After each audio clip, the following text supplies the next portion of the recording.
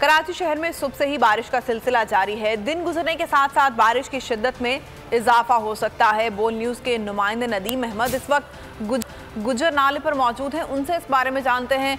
नदीम आगाह कीजिएगा आप गुजर नाले पर मौजूद हैं। इसके इतराफ़ में क्या सूरत हाल है?